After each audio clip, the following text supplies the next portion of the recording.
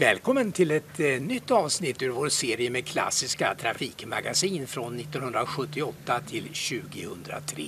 Nu kör vi! God kväll och välkomna till konsumentprogrammet om bilar och trafik. Hur är det möjligt att Volvos verkstäder runt om i landet tar så olika betalt för ett och samma jobb? Skillnader på flera hundra procent faktiskt. Ja, den frågan den ställde vi här i Trafikmagasinet för en tid sedan. Och anledningen, ja det var den här broschyren som gick ut till landets Volvoägare. Den här utlovar fasta verkstadspriser men sanningen är att inte ens två Volvoverkstäder hade ett och samma pris. För varje verkstad gav ut sin egen prislista med olika priser. Ja, det här det kom ju förstås som en överraskning för trogna Volvoägare som litade på Volvoverkstädernas prissättning.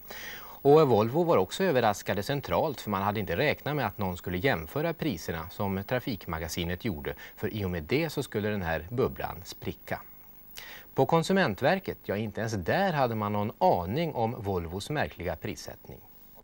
Man har ju faktiskt träffat ett avtal om en viss eh, reparation till ett visst pris.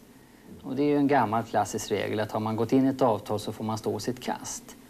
Men det är ju en sak. Den andra saken är att jag tycker att det är berättigat att man blir förbannad helt enkelt när man upptäcker att, eh, att verkstaden har betett sig på det här viset.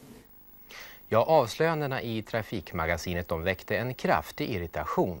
Dels bland Volvoverkstäderna förstås som kände sig avklädda in på bara kroppen. Och bland Volvokunderna som hade svårt att förstå att ett eh, kopplingsbyte till exempel kunde kosta 800 i Falun och 1400 i Karlstad. En skillnad på 600 kronor.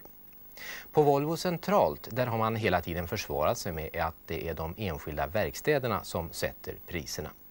Men nu kommer det verkligt intressanta. För nu har det kommit en ny prislista som skickas ut till Volvoägare i dagarna. Den här ersätter den gamla från i höstas. Och liksom tidigare så pratar man om fast verkstadspris. Man utlovar att sagt pris gäller i verkstaden. Det hela ger alltså ett intryck av att det är en fast prissättning hos samtliga Volvoverkstäder. Men hur är det då i verkligheten? Ja, liksom tidigare så har olika Volvoverkstäder olika prislistor. Fast man har försökt att ena sig i varje fall inom samma län. Om vi tittar här så ser vi att till exempel inom Norrbotten och Västerbotten där har alla Volvohandlare samma prissättning och det är ju ett steg framåt. Så här eh, kommenterar marknadschefen för Volvoverkstäder Arne Sjödahl den nya prislistan. Ja, vi, vi har en helt annan prisbild. Men vi kan förvänta oss att eh, man lokalt går ut och erbjuder sina Volvoägare rabatterade priser på kortare eller längre tid. Men det ser vi inte som en nackdel för konsumenten utan snarare tvärtom. Vad innebär då fast verkstadspris?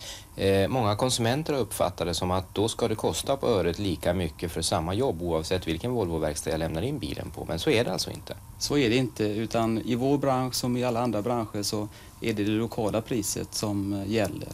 Och det viktigaste med våra fasta priser det är att när kunden kommer till Volvoverkstaden så lämnar han inte in bilen och plånboken samtidigt utan man ska alltid, i alla fall så långt det är möjligt, få ta del av ett fast pris. Det är den tryggheten som vi vill att våra Volvoägare ska hamna i.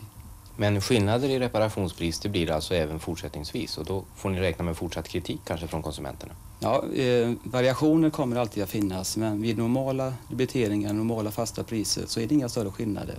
Men som jag sa så är det så att vissa tider så kan man få lokala erbjudanden om rabatterade jobb och det ser vi inte som en nackdel. Vem är det som har vunnit på att det här uppmärksammas i höstas? Är det Volvo eller är det konsumenten? Ja, konsumenten är ju prismedveten idag så att eh, jag tror inte att det är något större problem. Vi måste alltid ha rätt pris. Men fortfarande skiljer alltså priserna mellan Volvos verkstäder, det ska man ha klart för sig. Vi ska ta ett exempel på det här. I vår introducerar Volvo en ny typ av service som finns i tre olika steg. En basservice, underhållsservice och fullservice. Alldeles beroende på hur mycket man kör.